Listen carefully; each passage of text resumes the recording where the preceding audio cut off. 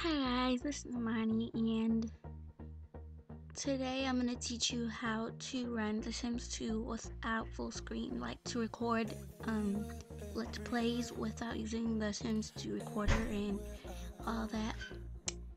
They made The Sims 3 with the full screen button where you can, it's an option where you can pick where you want it to be full screen or not, but on The Sims 2 they didn't make one of those. So I'm going to show you how to make The Sims 2 off of full screen. So first what you're gonna do is you're gonna go to your Sims 2 anyone you want. But you have to click the one that you want to launch. Like that.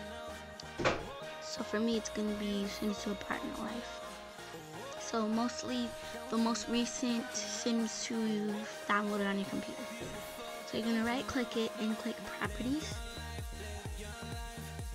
After you do that, this should pop up go to shortcut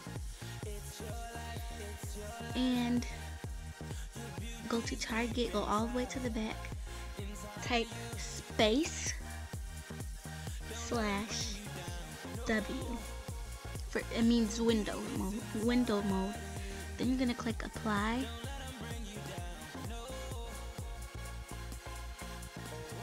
Might take a while, it depends on what kind of computer you have.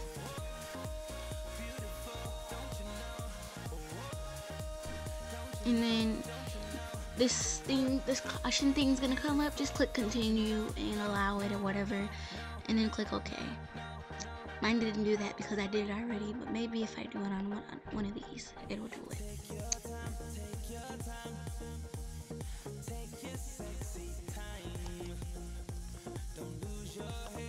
Yeah like this. It doesn't mean anything wrong with your computer or anything Make sure none of your Sims 2 applications are running like Body Shop or or something installing where your Sims 2 game and click continue. And click OK and then it'll it should run in window mode. So now we're going to test it out.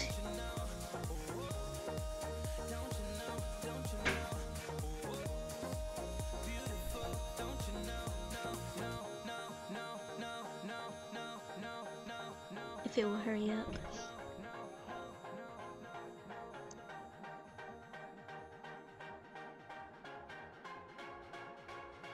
I'm very impatient sometimes.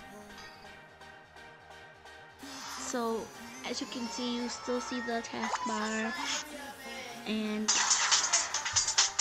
you can move this around and everything. So, you can also exit out. So that is how you run The Sims 2 in Windows mode. Mm, exit out. Oh, come on.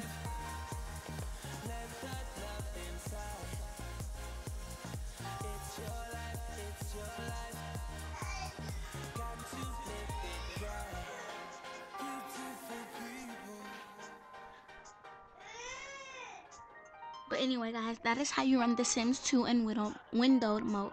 Thanks for watching, guys. Bye.